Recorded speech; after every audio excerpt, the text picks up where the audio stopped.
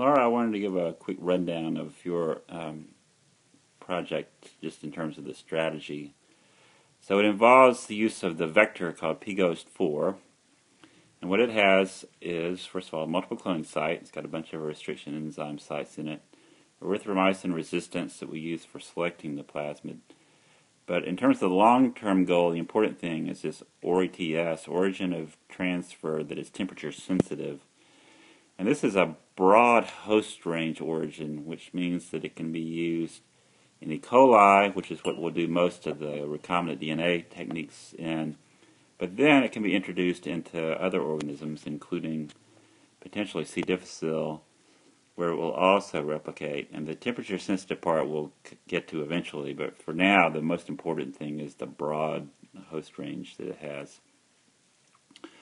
So uh, Joe and Scott and I have been talking about restriction sites and cloning strategies. I don't know if, if we talked about that specifically, but I'm thinking that what uh, you'll do is use this Hindi3 site on pGhost4, and the way to use it is uh, shown over here. So that piece of DNA that you want to clone contains this GFP, which is going to serve as a reporter gene for the expression of this region right here, which is a promoter from C. difficile that we want to characterize.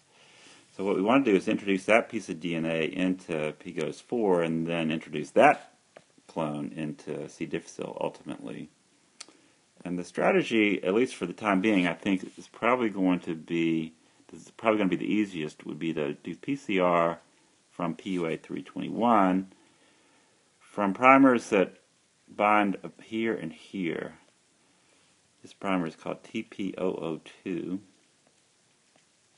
and this one is called UP Pro R. And what will happen if the, that PCR works is you end up with a linear piece of DNA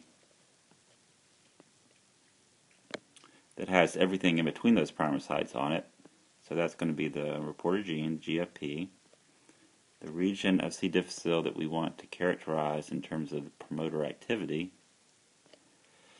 and uh, restriction sites that are interior to those primer sites. So over here, that would be Hindi 3, for example.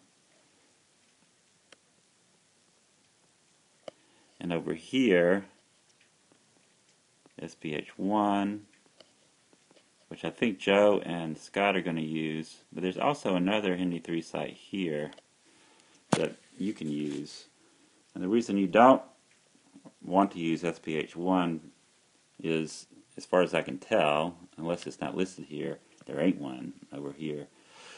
But it's, it's not a big deal. We could still use this PCR product, cut it with Hindi 3, and what that would do is generate a fragment that has sticky ends for those Hindi 3 sites uh, on it. And that should be fairly simple to clone into that Hindi 3 site right there. And that would produce a recombinant plasmid that has the origin of trans, uh, uh, the temperature sensitive origin plus the reporter gene construct that we want.